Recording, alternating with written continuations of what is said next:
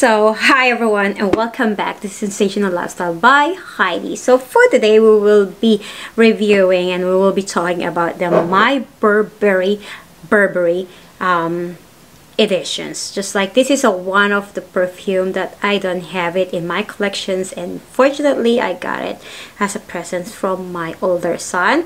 Uh, this is one of the range in My Burberry.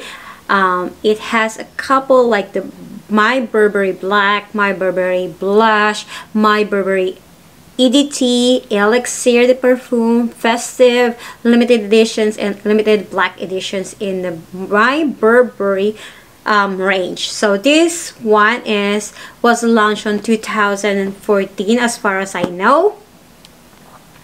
Um, and behind the notes is Francis Kurkdjian. So when I heard it that he is behind the notes, ah,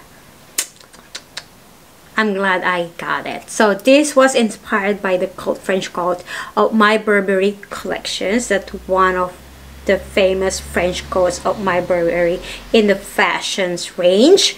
And this perfume has a lot of notes going on. When I smell this, ah. Uh, kind of remind me of something but let's just talk about it first all the notes is in here that probably you will be surprised that there's a lot but very very different from the real perfume when you smell it so when it comes to the notes um, this perfume has a top notes of sweet pea, bergamot, mandarin, grapefruits, and lemon. It has also, this one has a middle notes of quincy, freesia, geranium, green notes, passion fruits, and gardenia, as well as the base notes of damask rose, rose, patchouli.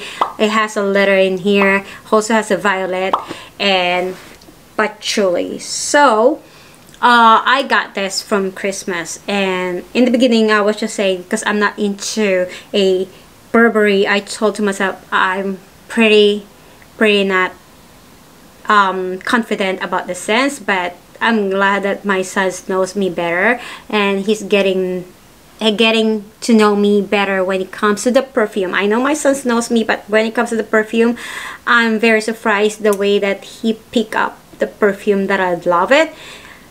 But when help with his girlfriend I know. The first perfume that I had with me is a fruity. Now this one is more on um, women this is more on women. This is reminds me that when you go to the duty free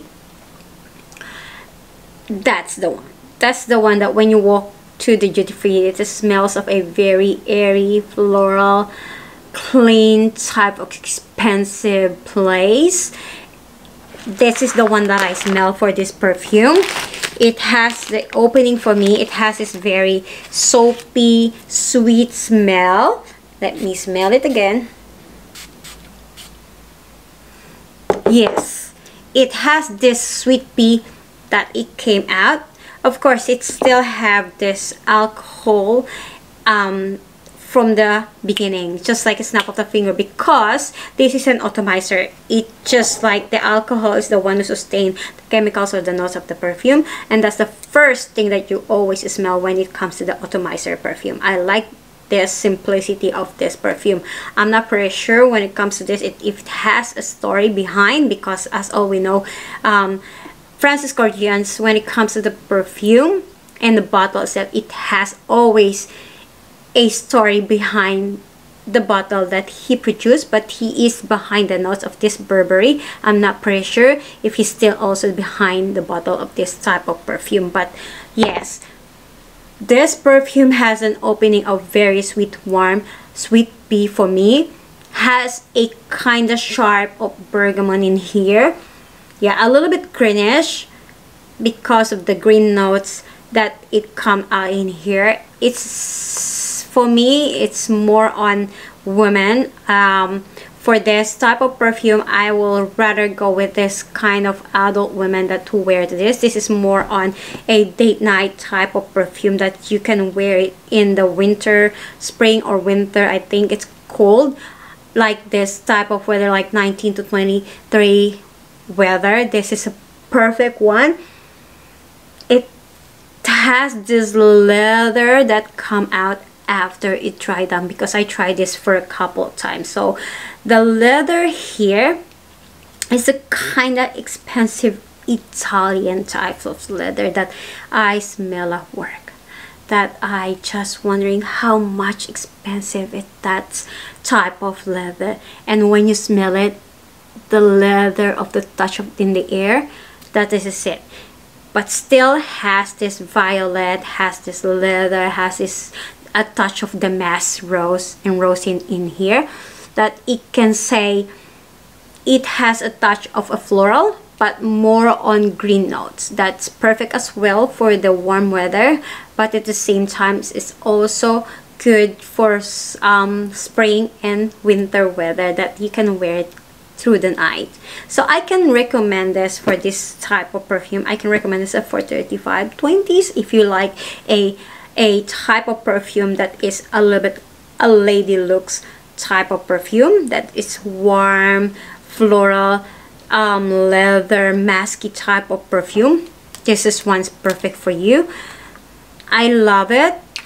It has this impact to me that I want to wear this in the date night. So that's all I can say with this type of perfume.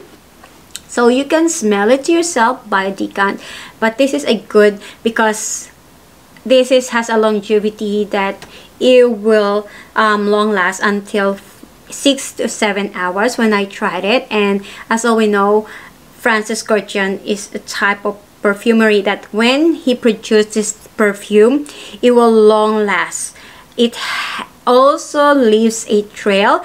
The Shias is quite so good. I smell it now in the air as I said this is a very sweet airy type of perfume that has a clean soapy type let's say soap or shampoo scents in here. But once it's dried down the adultness of the perfume itself coming out.